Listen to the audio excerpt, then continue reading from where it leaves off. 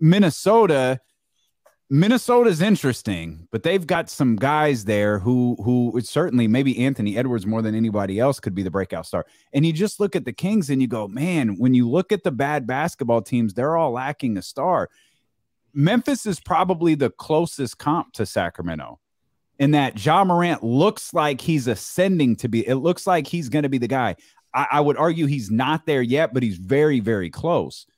But that's like a perfect makeup of guys when you don't have a star, you have to have a perfect makeup of guys. And that's why it this it feels like that's why this team continuously falls so short is that they don't have it.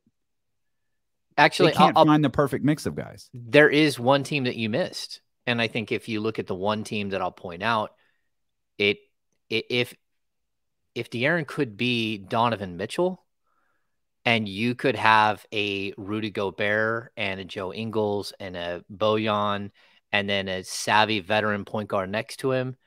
That's like if I swap those two out and I put De'Aaron Fox on the Utah Jazz, then they cover every single one of the issues that you might have. You've got the shooting.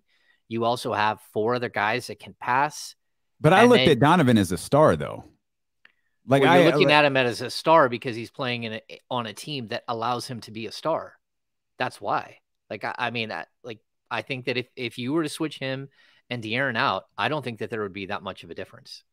Like mm-hmm. I, I think that De'Aaron could do a lot of what Donovan does. And he again, Donovan's not a great three point shooter. He pulls up from the mid range. He doesn't, and you know, like I think the difference between them, the two players, isn't that great. But the fact is that one team has like the defensive player of the year and some of the greatest role players in the game all around him. That's the difference. You have so many guys that can step up and field the questions that we keep asking De'Aaron to field when, you know, at the end of the day, uh, Utah has like six different dudes that can step in and field those questions and that can be that leader for him.